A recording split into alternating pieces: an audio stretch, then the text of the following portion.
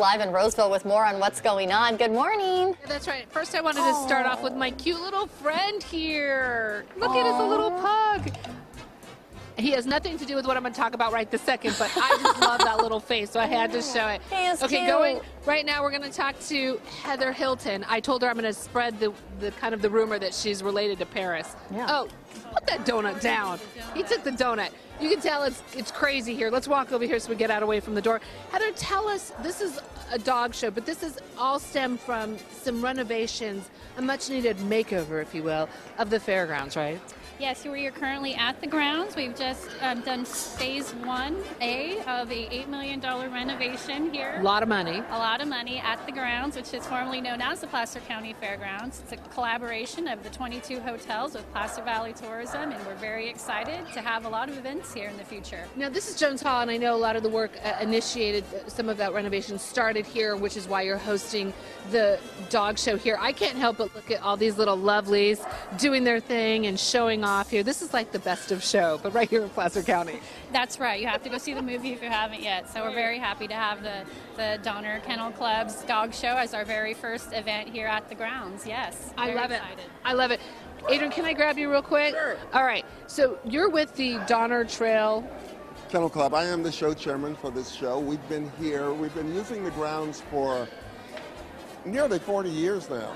And um, Uh, we are so happy that they were able to carve out a little section so that we could have our show. And it is really beautiful. It's, it's a fantastic venue. Now, I wanted to show you have all sorts of dogs here. They're big ones, little ones, but certainly these judges are looking for specifics. As we've got, we'll follow Sean over here. He's walking around. This is the judges' table here. Tell us what they're doing as they're looking at our little pooch here. Okay, so the American Kennel Club, they have a standard for each breed, and the judge's job is to interpret that standard and see which dog fits the standard the best. That little dog not happy.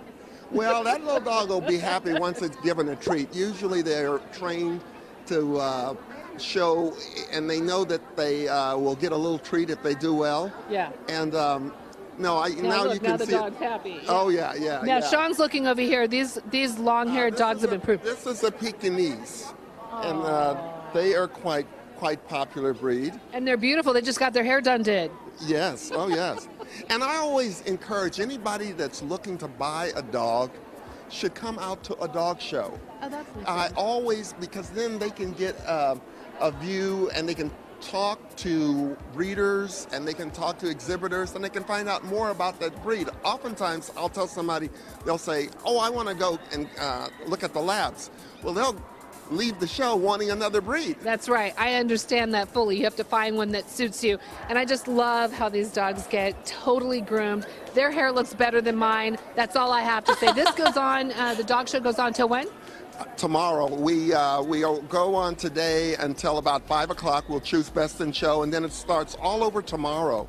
Tomorrow we'll start at uh, eight o'clock, and then we'll end about six o'clock. All right. I thank you so much for having us. And I have to show you one of the, Sean, see that big poofy haired dog over there?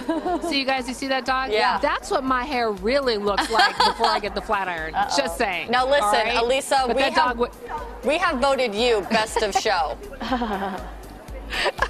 okay? that dog wears it well. Back to you guys. Thanks so much. It's too cute. Alisa gets the blue ribbon today. Absolutely.